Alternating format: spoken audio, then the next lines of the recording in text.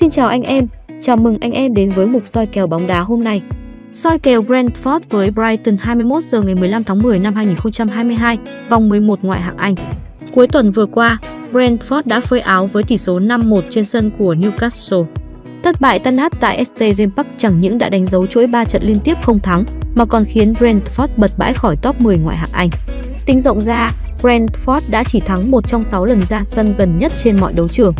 Bất chấp việc được trở về tổ ấm GTech Community ở vòng đấu tới, e rằng đoàn quân của huấn luyện viên Thomas Frank cũng khó chấm dứt được cơn khô hạn chiến thắng do phải đối đầu Brighton, đội bóng từng gieo sầu cho họ trong cả lượt đi lẫn về ở mùa giải trước. Trên thực tế, Brighton đã có dấu hiệu sa sút với chỉ một chiến thắng giành được sau 4 vòng đấu gần nhất.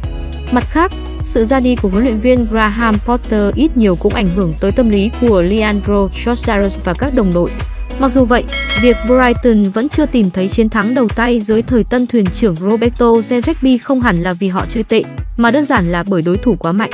Trước khi để thua Tottenham tối thiểu vào cuối tuần qua, Brighton đã buộc Liverpool phải chia điểm ngay tại Anfield trong trận cầu có tới 6 bàn thắng.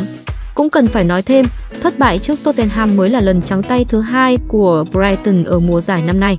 Khi mà đối thủ ở vòng đấu tới chỉ là một Brentford đang bất ổn, không loại trừ khả năng Brighton của Roberto Zerbi sẽ có lần đầu tiên được hưởng niềm vui trọn vẹn.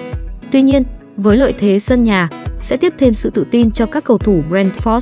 Với kèo châu Á Brighton chấp 0.25, anh em cân nhắc kèo dưới. Chốt kèo châu Á, Brentford được chấp 0.25 full time. Trong hai cuộc chạm trán ở mùa giải trước, Brentford chẳng những đã trắng tay toàn tập mà còn bất lực trong việc chọc thủng lưới của Brighton. Nếu xét riêng thành tích sân nhà, Bầy Ong thậm chí đã chỉ thắng 1 trên 7 lần gần nhất tiếp đón Brighton. Khi mà yếu tố sân bãi không mang đến lợi thế trong những cuộc đối đầu Brighton, xem ra Brentford khó lòng được ca khúc khải hoàn. Tuy nhiên, để trở lại mạch chiến thắng cùng với lấy lại niềm tin cho người hâm mộ trên sân nhà. Với kèo châu Âu anh em cân nhắc đội chủ nhà, chốt kèo châu Âu Brentford thắng.